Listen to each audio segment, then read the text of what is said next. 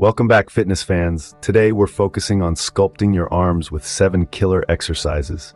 From curls to presses, we've got step-by-step instructions and tips to maximize your gains.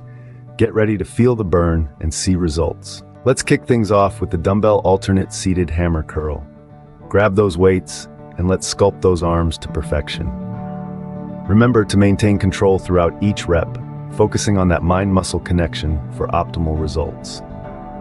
Moving right along to the one-arm kickback. Keep that back straight and those elbows in check as we target those triceps.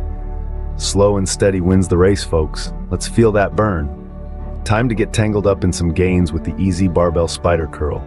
Find your stance, grip that bar, and let's weave our way to stronger, more defined biceps. Don't forget to breathe and squeeze at the top. Get ready to push your limits with the close grip bench press. Keep those elbows tucked and that form tight as we blast those triceps into submission. You've got this. It's time to raise the bar, literally, with the overhead curl.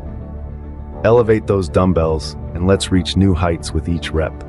Remember, controlled movements are key to unlocking those gains. Dive deep into those triceps with the triceps dip. Lower your body with precision and power as we work towards that sculpted physique. Engage that core and feel the burn. Last but certainly not least, we're flipping the script with the barbell reverse curl. Keep that posture on point and those movements controlled as we target those often overlooked muscles. Let's finish strong. And there you have it, folks. Seven arms exercises to take your arm game to the next level. Don't forget to smash that like button, hit subscribe, and ring that bell to stay up to date with all our latest workouts. And before you go, be sure to check out our previous video on chest exercises for a full body blast. Until next time, keep sweating and stay swole.